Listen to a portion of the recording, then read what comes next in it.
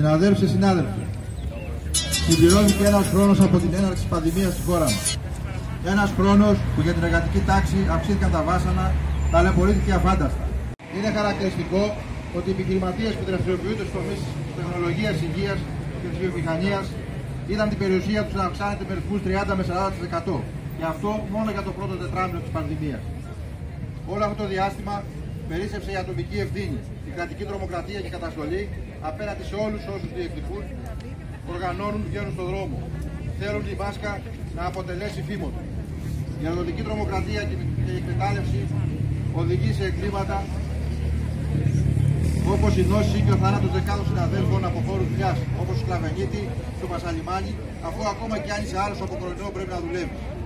Καθημερινές είναι οι καταγγελίες για κρούσματα στους χώρους δουλειάς και ξεπερνούν ακόμα και τα στοιχεία που ανακοινώνει επίσημα η κυβέρνηση. Η κατάσταση συνεχίζει να είναι κρίσιμη και το ενδεχόμενο να επιδεινωθεί ακόμα περισσότερο είναι βέβαιο. Από κανένα από τα συνεχόμενα lockdown δεν μπορούν να αντικαταστήσουν τα αναγκαία μέτρα προστασίας σε επιχειρήσει που λειτουργούν ή στα μέσα μεταφοράς. Ούτε δημιουργούν επιπλέον κλίδες μονάδες κατοική θεραπείας και υγειονομικό προσωπικό. Άλλωστε, αν κάποιος βρεθεί στο νοσοκομείο, θα διαπιστώσει με τα ίδια του τα μάτια την πραγματική εικόνα της δημόσιας υγείας. Έλλειψη ιατρικού και νοσηλευτικού προσωπικού, έλλειψη υποδομών, έλλειψη μεθ και φαρμάκων. Αυτό δίνει την κρατική κατάσταση και στα νοσοκομεία του Πειραιά. Αποδεικνύεται ότι τα παγιωμένα κενά και ελλείψει ανθρώπινο δυναμικό και εξοπλισμό που προπήρχαν στο σύστημα υγείας το έχουν κυριολεκτικά παραλιάσεις. Σε σημείο που αδυνατεί να καλύψει όχι μόνο τις ανάγκες για την αντιμετώπιση πανδημίας, αλλά και τα υπόλοιπα πολύ σοβαρά νοσήματα σωματείων, συλλόγων, εργαζομένων μαζικών φορέων αλλά και χιλιάδων κατοίκων στη Νέα Σμύργη ενάντια στην απρόκριτη αστυνομική βία. Η αστυνομική βία και η κρατική τρομοκρατία δεν είναι μεμονωμένο περιστατικό. Δεν είναι μεμονωμένο περιστατικό η απαγόρευση διαδηλώσεων στο Πολυτεχνείο, η απαγόρευση των εκδηλώσεων μνήμη στο Αλέξη Γρηγορόπουλο, η εισβολή των μάτων στο Αριστοτέλειο Πανεπιστήμιου τη Θεσσαλονίκη και αλλού. Όλα αυτά αποδεικνύουν ότι η κλιμάκωση της καταστολής δεν είναι απλά μια μονή της κυβέρνησης τη Νέα Δημοκρατία όπω επιμένει να λέει ο ΣΥΡΙΖΑ, το ΚΙΝΑΡ και τα άλλα κόμματα. Είναι συνειδητή επιλογή σήμα κατά τεθέν κάθε αντιλαϊκής αστικής κυβέρνησης.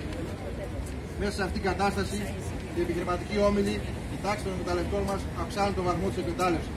Μειώνουν συνεχώς την αξία της εργατικής δύναμης, βάζουν εμπόδια στην οργάνωση των εργαζομένων στα συνδικάτα. Αυτό φάνηκε ξεκάθαρα από το πείσμα και την ρηγοράδα που η κυβέρνηση τους φέρει και ψηφίσει στη Βουλή τις απαιτήσεις τους, τους νόμους τους για να αυξηθεί η εκμετάλλευση. Δηλαδή η αύξηση των κερδών, να δυναμώσει η κυριαρχία του. Σε αυτή την κατάσταση και μέσα στην πανδημία, ενώ ο λαός έχασε και κάνει τους δικούς ανθρώπους, οι κερδισμένοι από την πολιτική της κυβέρνησης και τα μέτρα που πήρε είναι τα επαγγελματικά συμφέροντα. Συναδέλφοι και συνάδελφοι, υπάρχει ελπίδα.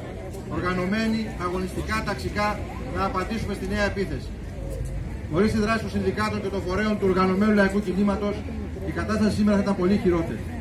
Η αποκάλυψη της εγκληματικής πολιτικής, κυβέρνησης εργοδοσίας, οι εκατοντάδες παρεμβάσεις των σωματείων είναι αυτά που σήμερα φοβούνται και γι' αυτό θέλουν να καταστήλουν κάθε φωνή που αγωνίζεται και αντιστέκεται.